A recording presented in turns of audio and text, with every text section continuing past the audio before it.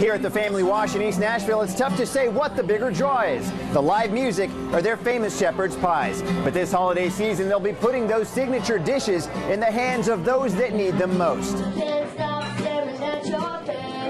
A troupe of singing kids got things rolling at the first ever pie drive at the East Nashville Hangout Friday night. It's a movement organizers hope will help feed hundreds of homeless Nashvillians. Patrons can pay $5 for a shepherd's pie that we will in turn then go and deliver to local homeless shelters. The pies will be going from here to here, the room in the inn downtown, and the staff couldn't be happier. They're touched, especially in this season of giving, and they want to help make a difference. The center has been helping homeless Nashvillians for 27 years and offers a number of services to some 250 men and women every day. They'd like to increase the number of people they can get off the streets and into their building, and Karen Stevens says the pie drive is a great way to do it. Well, it's awesome because Room in the Inn is one of Nashville's best kept secrets, and we obviously don't want to keep it that way.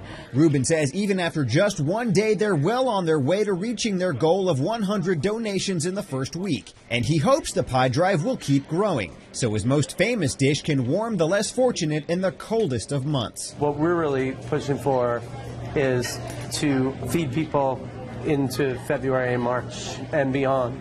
Rubin says he expects to start delivering those shepherd's pies as early as next week. In East Nashville, Eric Alvarez, Fox 17 News.